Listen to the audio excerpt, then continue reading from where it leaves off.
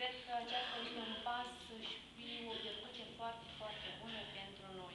Și nu aș considera-o ca prima doză a unui drog.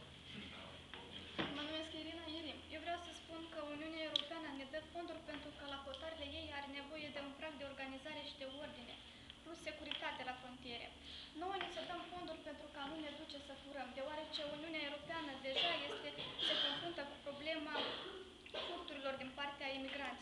imigranților. Cu ea știe cum să manu-